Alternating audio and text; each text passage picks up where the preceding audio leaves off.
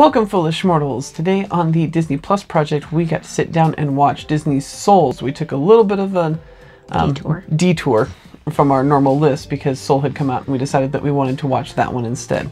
So that's what we're going to talk about today.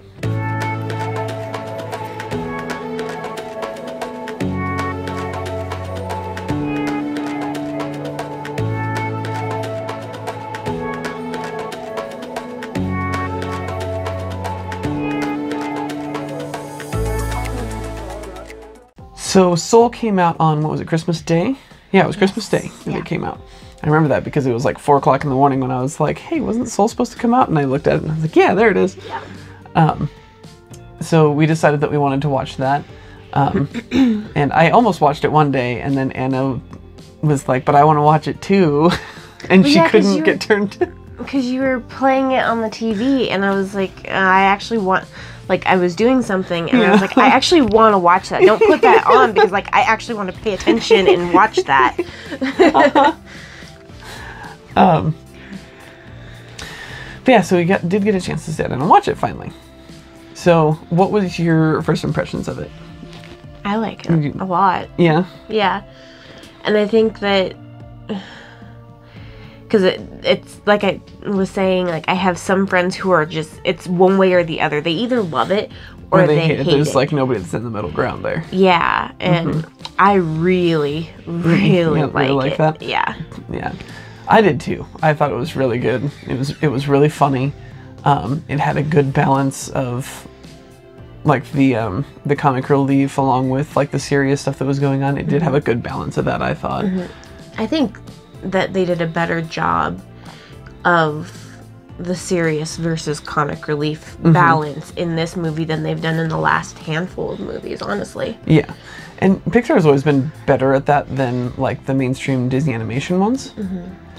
Um, but this one definitely like was probably right up there with um, Inside Out in terms of balancing the dark with the, the funny aspect. And I know you don't necessarily like I Inside don't Out as like much. Inside Out. But- I think it's better than Inside Out. Honestly, Yeah. And I think that's a difference in the story for you. yeah. Um, I think that with Inside Out, the child psychology, all the stuff that um, Riley was dealing with hit a little closer for you. That's true. And so, whereas it didn't necessarily as much for me, or I just wasn't paying attention as much. One of the two. I don't know. I was also drinking while I was watching that movie. I was very drunk while I was watching that movie. Um,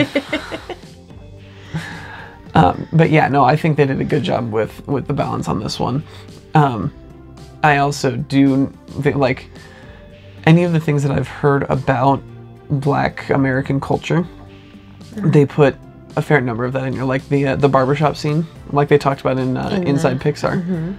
That barbershop scene did really feel like any like one of those things because um, that's from everything that I've seen and heard. That's actually how that goes. That's a big part of the black community is going to the barbershop, and that that's where people like will just talk and like they everybody gets along. It doesn't matter what walk of life you're from. See, and and I I kind of like this because, um, like that school scene, like that was my elementary school. Like not so much. mm, Well, that was my middle school band class, but oh gosh, I hope my band teacher doesn't. oh. Oh, but I I think he would agree though. Like there was definitely that atmosphere of like there's that one kid who's just lounging in the seats and I forgot my I forgot my saxophone." Um, but but that school, like when you look out in that hallway Mm-hmm. and it's just awful looking and gross and Mm-hmm. that's that that's my elementary school. That's that's how I grew up. yeah. And so like I that kind of like I, I definitely you know don't fall into like the black culture but mm-hmm. but I was surrounded by it. So like I I recognize so much of this mm-hmm. because that that's where I grew up. Right. so.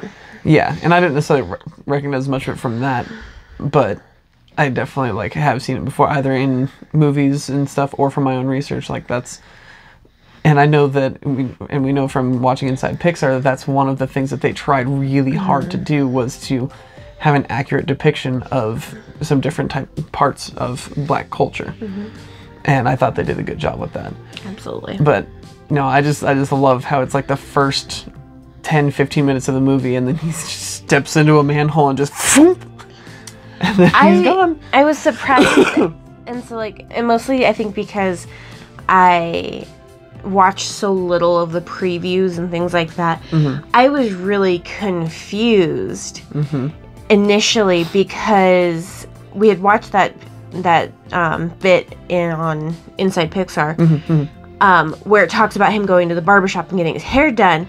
And Yeah. so then he died, and I was like, "But wait, I know But There's that barbershop scene. there's that barbershop scene. Yeah. So where I kind of did the same thing. where did this what happened? And so it was kind of a neat surprise to see how that actually played out. It was really cool. Mm-hmm. Yeah, no, I, I totally did the same thing. I was like, but uh, where's the barbershop scene coming in? Are they going to do something with it later? Like, how are they going to do that? Yeah. But then I remembered from watching it that there was, that he had a cat on his lap in hmm. the in the barbershop scene when we were, when it was showing it, and I was and so then I thought I was like, oh, okay, so yeah, it's different because he doesn't have a cat yet. I didn't know if he had a cat or not. That's- Maybe maybe he would have had a cat at home and I didn't know that. I don't I was just really confused, okay? And actually, like I finished the movie while I was on lunch, and I then went. I think I went to, went to get more food, maybe. I don't know. I got up for something, and I go to sit back down, and then one of my um, one of my bosses, one of the team leads, came in. Uh, Nikki came in, and um, I had both of my headphones in at the time, and had switched to watching some stuff in Japanese. And so I, all of a sudden I look up, and she was just looking at me. I was like, "What?" and then she asked me. She was like, "Hey, did you did you watch Soul?" And I was like, "I mean, I finished it like two minutes ago." uh, but then I we were talking about it for a little bit because her um, her son, who's eight, I think, he absolutely loves it. And he's watched it like four or five times now. And he like she hadn't seen it and yet and so like he had been telling her like all the stuff about Jerry Jerry and Jerry and Jerry and Ter- and then there's Terry everybody's Jerry but then there's Terry and then and 22 and, and she was so confused but then the one thing that I told her I was like you know that soul is soul number 22 so for you know not necessarily a spoiler all the souls in um, up where he go, kind of ends up they're all numbered and so because they, they've is, not met their body. because they haven't yet. gone down to their body. So she, so this one is soul 22. And it got me thinking, I was like, that means that's the 22nd soul to exist. And already that soul decided, no, Earth is crappy. I don't want to go down there. 22, like, Hey, 37 was still there too. was it? Yeah, because um, when when what's his bucket was like first there, Mhm. um, she yells at 37. Oh. So 37's still up there too. Like, don't even Okay. like. Yeah, but still, like 22, 22 and 37, that means that those, like, they were They were brand new souls. So they were there when everything Nope. started, and they were just, mm-mm, you ain't gonna make me do that. Uh, but no, and it really had a good overall message by the end of it, like, because I, I do think that everyone gets caught up in what's what's my spark, what's my purpose in life, and you know What am I meant? To what am I do? meant to do here? And they don't stop to think about, well, you're meant to just live, live your life. And that's really what the movie's trying to tell you is you're meant to just live your life. Yeah.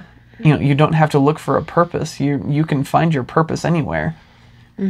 But just live your life, you know. Um, like the the barber was a very good example of that. Like he was um God, what was he gonna what was he gonna be? Veterinarian. And then they're like, well, why didn't why didn't you? And he because veterinary school was I had just gotten out of the navy and veterinary school was too expensive, and so I instead went to um, barber school and became a barber.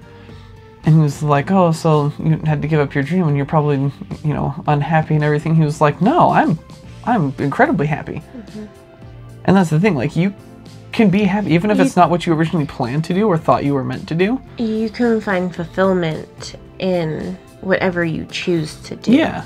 It, it may not be what you think your goal is, your life purpose is, Mm-hmm. whatever, but you can find fulfillment in whatever you end up doing. Yeah, yeah. And then the the story that um, what was her name, Dorothea told Joe Gardner after the after they performed a little bit, and she was like telling the story about the kid who'd had been looking for, or the fish, sorry, a fish. There's an old fish and a young fish. Yes, and the young fish was asked the old fish was like, "Hey, I'm trying to find the ocean," and the old fish was like, "Well, this is the ocean." He's like, "No, this is water. I'm looking for the ocean," and it's like that's that's exactly what it is. We're we're looking for the ocean through the water.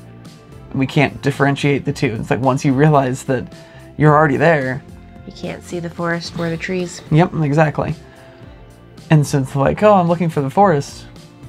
No, these are trees. I'm looking for the forest. Like, that's the same. Yeah, it's the same idea. It's like, you know, you're looking for your purpose in life, but you're, already already you're already living it. You're already uh, living is your purpose in life. Mm-hmm. You know, everything else is like secondary. Mm-hmm. Like everything else falls into place, and that's it. Did a very good job, and it's a very Pixar thing. Mm-hmm. Like it I, really I is. I loved it. I really did. I loved It it. was a really good movie, and I, I want to see if Aiden will like it because of all the little, the, like the little souls, the little kid mm, souls. I don't know. It's hard. He mm-hmm. may. I don't. I think it would be one of those movies where we put it on and he pays attention to some parts of it, but not. but not others. Not yeah, that might be it, how it yeah. goes. so. But no, so for any of you who have not yet watched Soul, definitely give it a try. It is a very good movie, Definitely. very well done, and it is a really good movie of, for all ages. Of you know, infant all the way up to adult. Like, mm-hmm. It's really good. I mean, Yeah. infants like like Aiden may not necessarily pay attention to all of it, but you know might pay attention to some of it. But- Aiden's not an infant. He's a toddler. He is a toddler now. That's true. He is over two years old. He is a toddler.